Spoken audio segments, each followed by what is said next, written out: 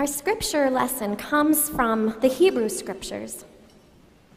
It is a lectionary text for this Sunday, and it comes to us from the opening chapters of the book of Ruth. Hear now God's word.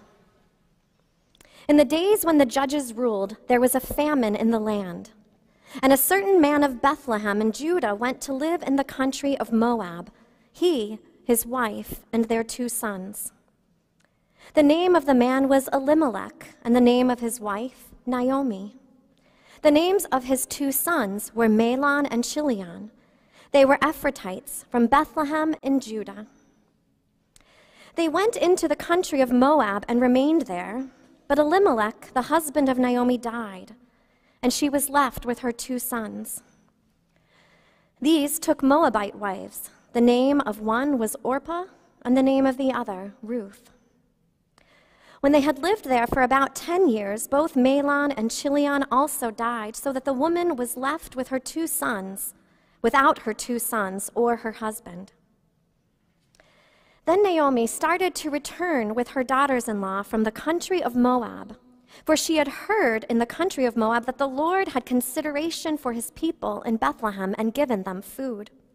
So she set out from the place where she had been living, she and her two daughters in law and they went on their way to go back to the land of Judah. But Naomi said to her two daughters in law, Go back. Each of you go to your mother's house. May the Lord deal kindly with you as you have dealt with the dead and with me. The Lord grant that you may find security, each of you in the house of your husband. Then she kissed them, and they wept aloud. They said to her, No, we will return with you to your people. But Naomi said, Turn back, my daughters. Why will you go with me? Do I still have sons in my womb that may become your husbands? Turn back. Daughters, go your way, for I am too old to have a husband. And even if I thought there was hope for me, even if I should have a husband tonight and bear sons, would you then wait until they were grown? Would you refrain from marrying? No, my daughters, it has been far more bitter for me than for you because the hand of the Lord has turned against me. Then they wept aloud again. Orpah kissed her mother in law, but Ruth clung to her. So Naomi said, See, your sister in law has gone back to her people and to her gods. Return after your sister in law. But Ruth said, Do not press me to leave you or turn back from following you. Where you go, I will go. Your people shall be my people, your God, my God. Where you die, I will die. There I will be buried. May the Lord do thus and so to me, and more as well, if even death parts me from you. When Naomi saw that Ruth was determined to go with her, she said no more. This is the word of the Lord. Thanks be to God. Let us pray.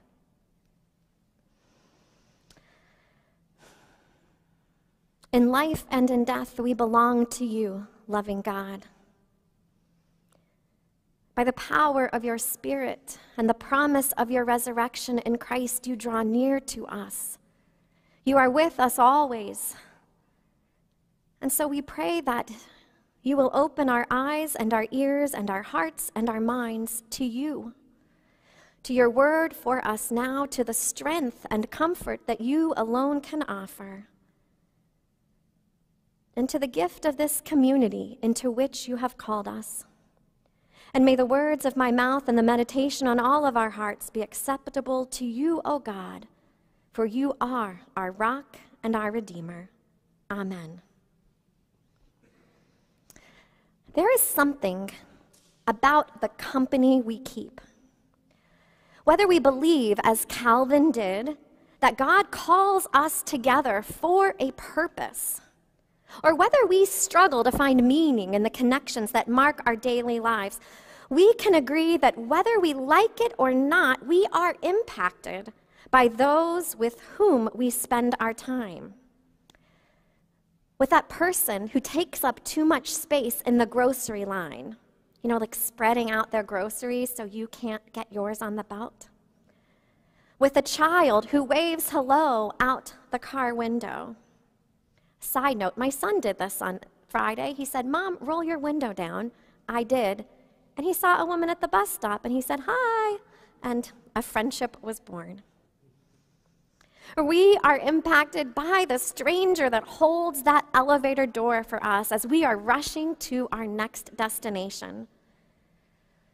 As a people of faith, we are reminded that we are secured by the hands that sew stitches into magi robes and shepherd nervous sheep across the pageant stage. We are strengthened by those voices who speak truth into verse and teach us to do the same, or those who make art accessible to all, whether those who are in a juvenile detention center or simply by taping art in zigzag patterns along church walls. We are warmed by the embrace of a generous spirit who stops by after the postlude to wish us well before heading for a cup of tea. We matter. We rub off on each other. We are formed and informed by those with whom we spend our time. We adopt their mannerisms and sometimes their beliefs. We learn their recipes. We are happy when they win because we've been cheering them on.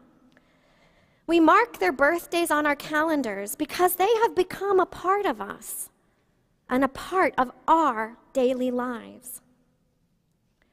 In today's lesson, we hear a story of an aging widow whose destiny is directly impacted by the company she keeps.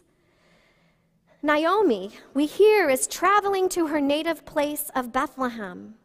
And along the journey, she releases her daughter in laws, who are Moabites, widows themselves, to return home to their mother's houses to their families of origin. Because it's here, Naomi knows, that they will find security and comfort and perhaps even a future. Naomi can provide none of these herself. Having lost her husband and both of her sons, Naomi lets go of the two members of her immediate family that she has left. She is resigned. She is cursed, she will later say. God has dealt bitterly with her. But she wants to spare these women that she, these women that she now loves as her daughters and let them have a chance that she knows she cannot give them. And so she sets them free. But Ruth stays.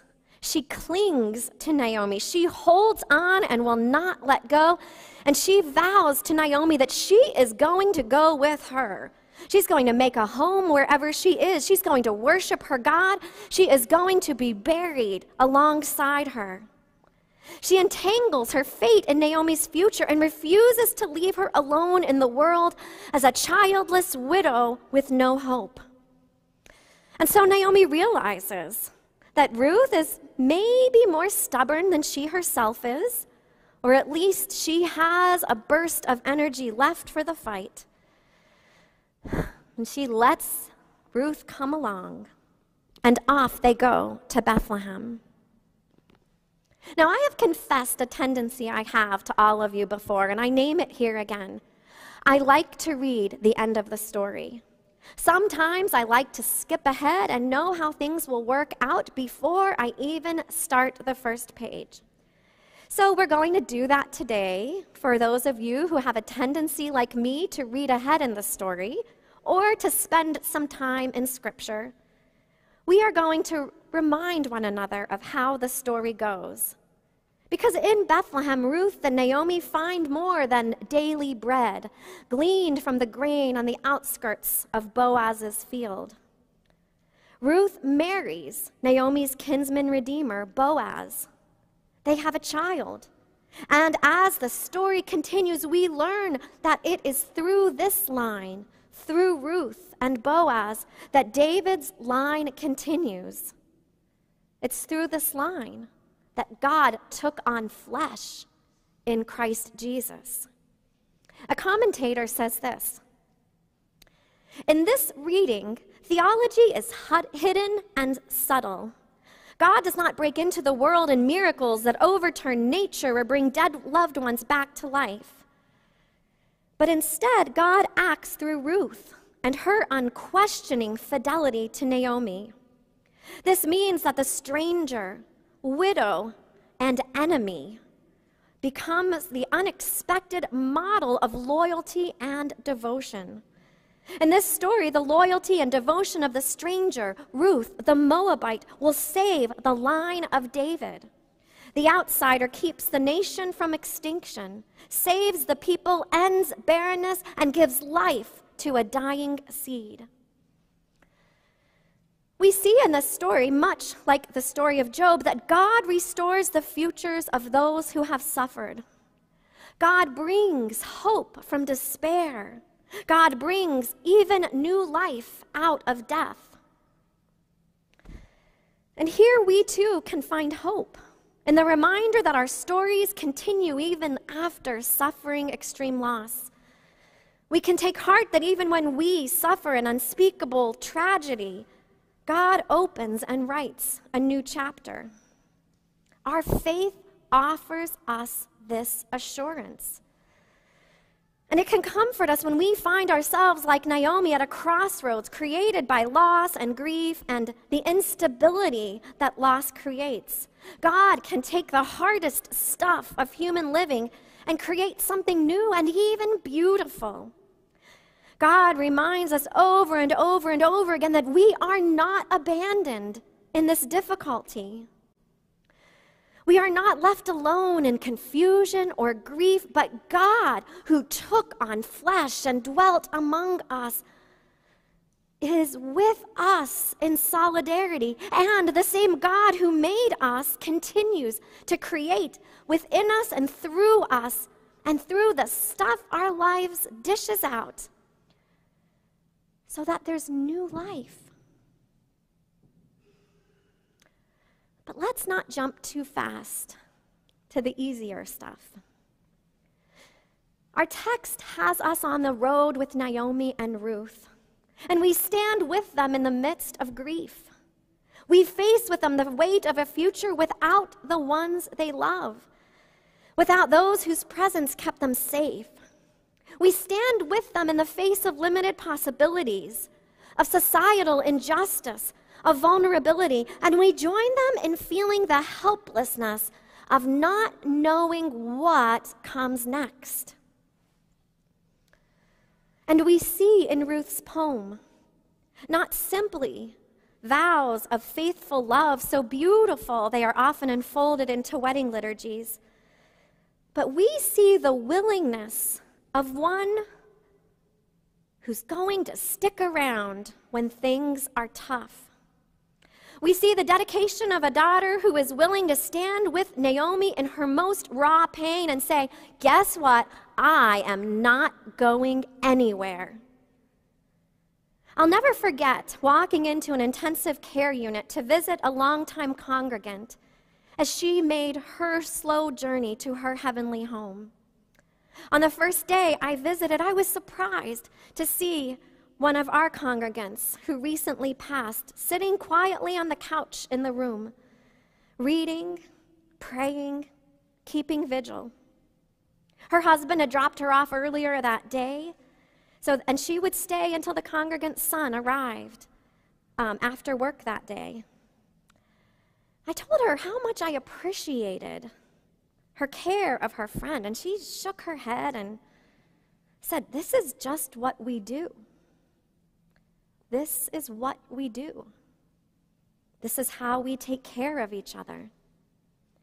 We show up. We do not leave when it gets difficult. We watch over each other. We keep vigils. We hold hands. We pray we embrace, we let others know how much we love them. Ruth has a lot to show us about how to hold the hard stuff. She shows us a willingness to be uncomfortable and even vulnerable so that another person is loved well. Her ability to stand in solidarity with Naomi in her loss and vulnerability, it enacts justice. It extends comfort. And it creates a gateway to new possibility, not only for Naomi or for Ruth, but for all who come after. Her steadfast love and refusal to leave is a radical act of love. It models the solidarity and connection that God in Christ modeled and offered to us. And so today, as we worship, we honor these connections, holding the tradition of Reformation Sunday, as we also hold in our hearts and in our minds those who formed the faith upon which we stand, and commemorate on this All Saints' Day those from our family of faith and our families of origin and our neighborhoods, those who have died since we last gathered together in November of 2019. A lot has happened since then. An election, twin pandemics of COVID and racism, a lot has happened.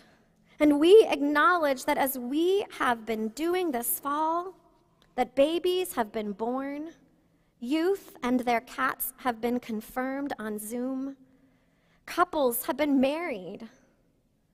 We've learned to recognize smiles on one another's faces through dancing eyes above our mask. A lot has happened to us, too. We haven't been able to check on each other in quite the same way as we once did. We haven't been able to watch someone progress after surgery week after week, or to notice how someone is navigating an empty nest for the first time. For the most part, we are not too sure of exactly how tall one another's kids have grown. And some of us from our congregation have even moved to new homes in new states. And while virtual worship has allowed us to praise God together in community, we never got to hug goodbye. We've lost a lot this past year. Let's face it, it hasn't been easy. And even though I am so grateful to be looking at each of you and your masked faces here in the sanctuary, and I am grateful that I am preaching to a congregation in person as well as a virtual congregation rather than my own image in a monitor. I wonder when I'm going to sit on those steps again and be surrounded by kids, including my own. I wonder when we are going to take our good old time to share God's peace with one another. So much so that the liturgists need to kind of call us to order at the beginning of the service and say, okay, people, come on, we have to get moving. Let us join together in the call to worship. And there is the poignant reality that we have lost those we love so deeply this season. There are many whose regular pews I can point out, but I cannot even remember the last time I got to embrace them because the circumstances of the last couple years have kept things sort of fuzzy like that. But we lost two of the oldest mem- members of our church family in this season Lois and Dorothy. Vibrant women whose wisdom and kindness never failed. We lost educators and artists and politicians and parents and judges and janitors. We've lost those who were generations deep in the life of our church, including a grandchild of a former pastor. We lost those who have been a part of our congregational family for just a few years. We've lost those whose service to our larger community and our presbytery is noteworthy, and we've lost those who simply made us feel like a million bucks with a gentle smile, a question about our vacation, the gift of a book, or a word of encouragement. And most of us have suffered losses outside of ELPC, where we have had to navigate the impossible decisions about how we can best say goodbye in the midst of a pandemic. And so, for just a moment, we join Ruth and Naomi at this place. We stand together at a crossroads between what was and what will be, and we name what is. We notice who is missing we say the truth that life is not the same without them. We feel the dis-ease of their absence, even as we know that we need to figure out how to go on, and that we will. And we do what we hadn't been able to do for months. We cling to one another. We weep and we mourn. We hold each other's grief. And then we move forward together. Together, we dare to give thanks as a people of faith and as an act of radical faith and hope and love. We celebrate how we have been changed by those who have accompanied us along our journey. We give thanks that by God's grace, we were blessed enough to know Lee and Justin and Buzz and Nancy and David and all of the saints whose images are on this table and all of the saints lifted in our bulletin, and all of the saints we carry in our hearts.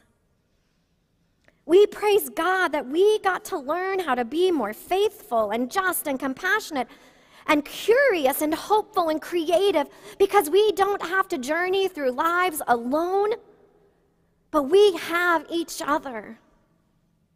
And even when some of us are missing, we have the us who is gathered here we are one another's companions on the journey, formed by and with one another by God's grace and sometimes by the Spirit's humor. We move forward carrying our loved ones with us together. Their stories and their figures of speech, their hobbies and their smell, the songs that remind us of them, and the lessons we learned and we embrace. And if we're not ready to hug, not even with vaccines and masks, we can do the air hug thing. We can send a Grubhub gift card. We can write a note about a favorite memory. And we together remember. And we together remind each other of the truth of the gospel, the truth we tell our son when he misses his grandpa love never dies. And so we travel together, not walking away from those we've lost, but into a future that is both shaped by their memory and by God's grace. We step forward with a reminder of our faith that our lives are situated together within the chronicles of God's eternal story. And that God can take the hardest stuff of our lives too and make a new and beautiful future. And so today, even in our grief, may we give thanks together for the ways in which the love of others have changed us, for the ways that we are formed and continually being reformed in relationship to one another and to God. And may we give thanks for the power of the resurrection of Jesus Christ that removes the sting of death and reminding us that God's not done yet. And for this, saints, may we say thanks be to God. Amen.